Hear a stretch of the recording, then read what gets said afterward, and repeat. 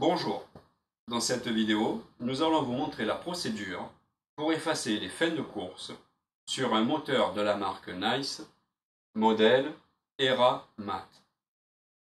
Sur la télécommande, pressez et maintenez enfoncé la touche carré jusqu'à ce que le moteur effectue deux mouvements.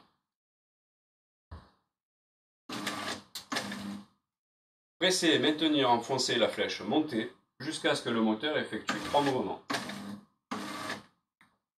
Pressez la touche carré jusqu'à ce que le moteur effectue trois mouvements.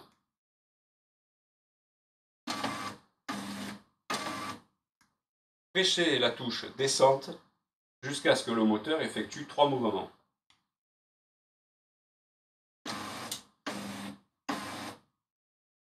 Pressez et maintenez enfoncé la touche carré jusqu'à ce que le moteur effectue cinq mouvements.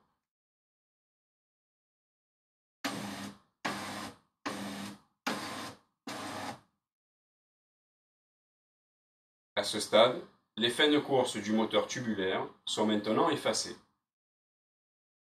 Espérant vous avoir aidé, merci et à bientôt.